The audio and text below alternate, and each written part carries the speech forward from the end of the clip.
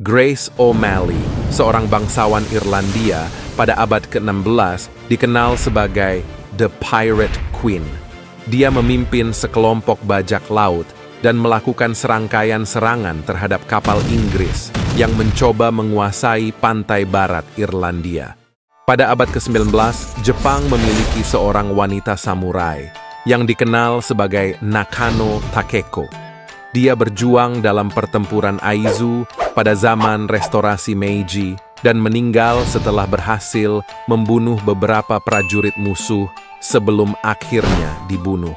Pada abad ke-1 Masehi, Trung Sisters dari Vietnam memimpin pemberontakan melawan kekuasaan Tiongkok. Mereka berhasil merebut kendali wilayah selama beberapa tahun sebelum ditaklukkan kembali oleh tentara Tiongkok. Catherine the Great dari Rusia Selain menjadi salah satu pemimpin paling berpengaruh di Eropa pada abad ke-18, juga dikenal karena kecantikannya. Namun, banyak yang tidak tahu bahwa dia juga mencoba kudeta terhadap suaminya sendiri, Tsar Peter III, untuk menduduki takhta.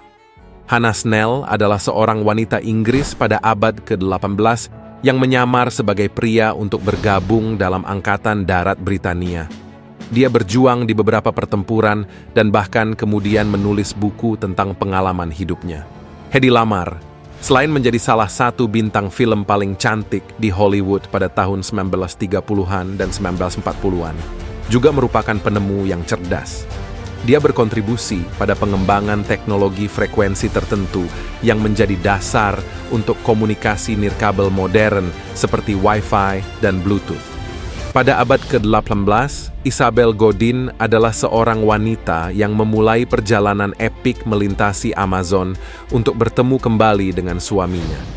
Dalam perjalanannya, ia menghadapi berbagai bahaya, termasuk kelaparan, penyakit, dan serangan suku-suku asli.